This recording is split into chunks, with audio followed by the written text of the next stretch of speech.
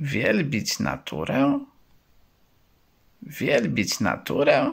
Za co? Prawda, nie pobłądzi, bo nią mu spraw tajemnych dla człowieka rządzi, bo jest maszyną martwą, a jej ruchy wieczne.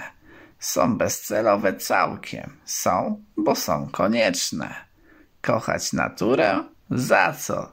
Za to, że mnie gwałtem bezwzględnym utworzyła i odziała kształtem ludzkim, może nieszczęściu, najbardziej przystępnym, że mi wciąż grozi skonu widziadłem posępnym, że mi dała poczucie i świadomość woli, a w najsroższej, tyrańskiej trzyma się niewoli, że mi w mózgu upragnienie wszczepiła poznania, ale poznać mi ślepe jej prawo zabrania?